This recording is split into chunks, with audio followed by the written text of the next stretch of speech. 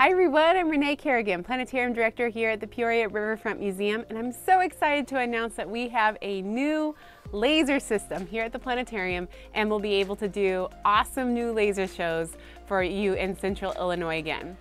We had a laser system before, but just under a year ago it broke. Um, so we had to pause our laser shows for a while, but we were able to get an upgraded system. So they're back and better than ever. We have a brand new laser system from a company named Laser Fantasy.